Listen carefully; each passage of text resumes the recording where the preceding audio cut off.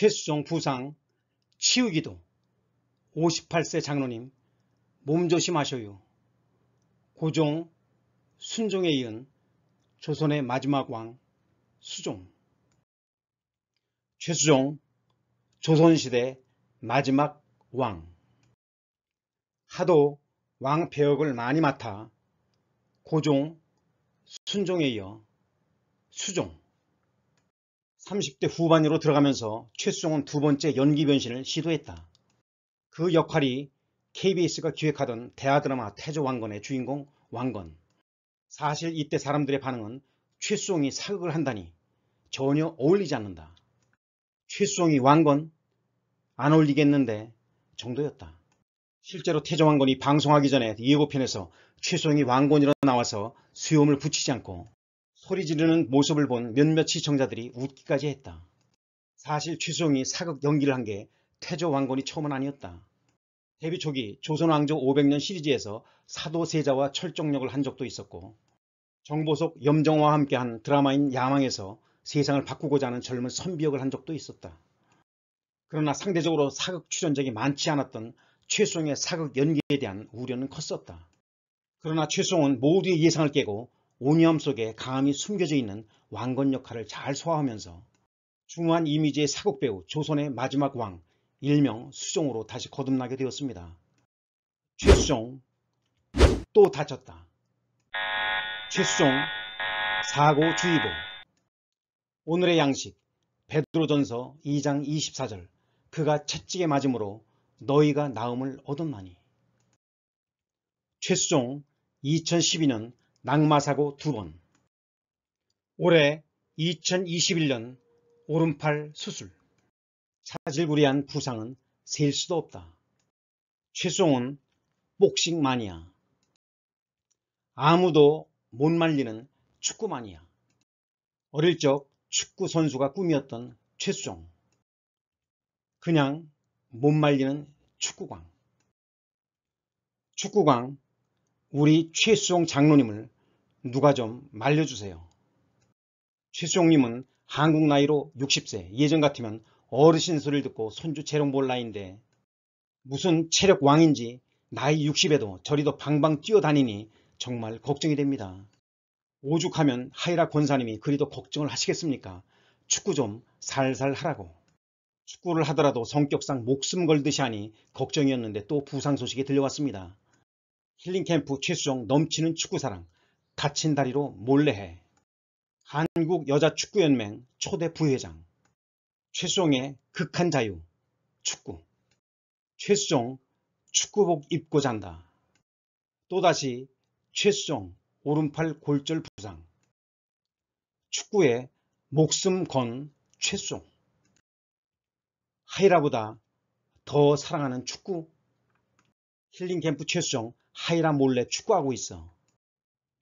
그동안 셀 수 없는 최수홍의 부상. 배우 최수홍이 두 다리를 다쳤지만 아내 하이라 몰래 축구를 한다며 축구 사랑을 고백했다. 2015년 6월 22일 방송된 SBS 힐링 캠프 기쁘지 아니한가에 최수홍과 함께 출연한 배우 이덕화는 최수홍이 새벽에 조기 축구를 나가기 위해 축구 유니폼을 입고 잔다고 말했다. 이어 MC 이경규가 하이라가 축구하는 것은 위험하니까 하지 말라 면 그만두겠나 라고 묻자 최수종은 몰래 하겠다. 사실 다리를 다친 지금도 몰래 하고 있다는 사실을 털어놓았다.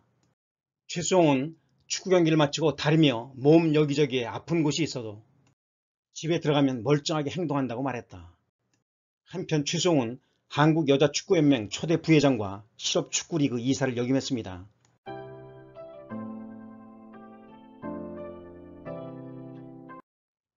최수종 2012년 낙마사고 두번 배우 최수종이 2012년 2월 14일 오후 서울 성동구 행당동 CGV 왕십리점에서 열린 영화 철가방 우수씨 언론 시사회에 참석해 포토타임을 가졌다.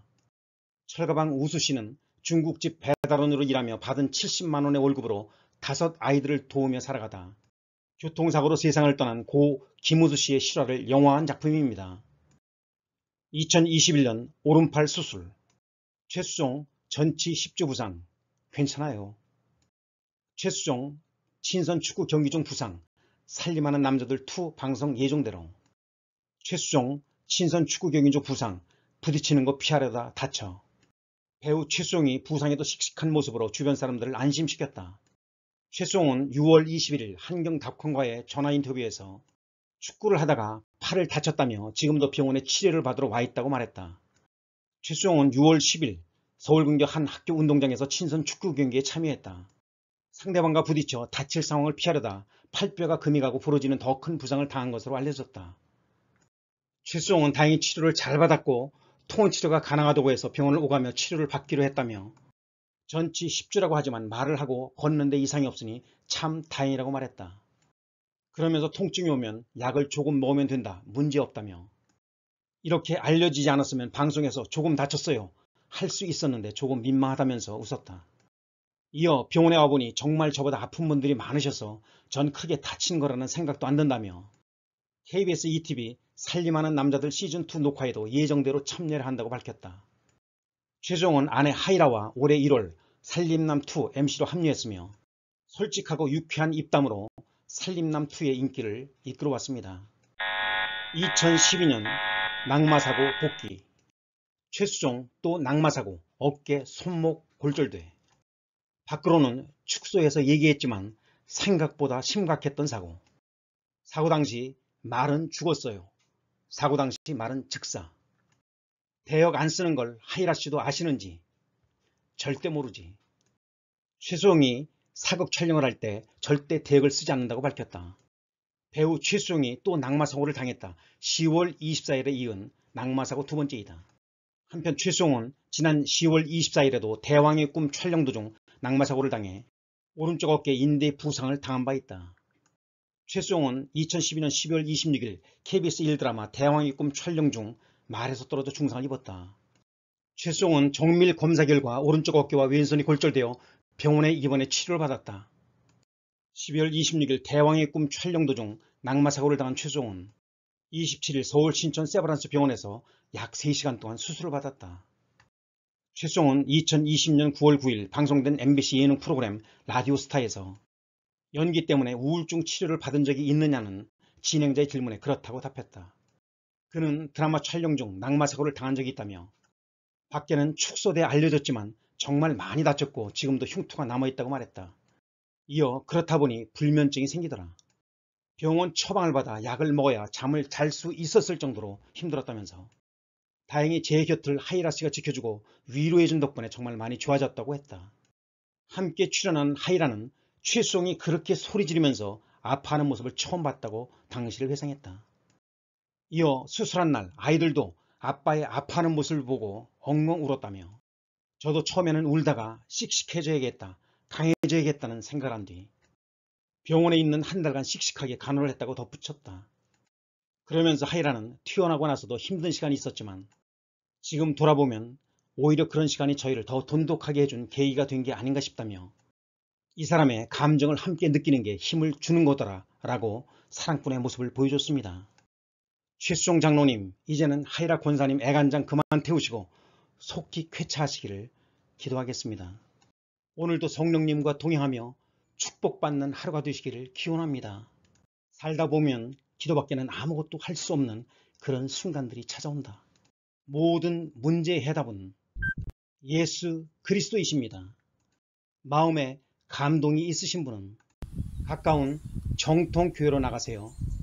예수님을 정말로 사랑하는 크리스천 튜브였습니다.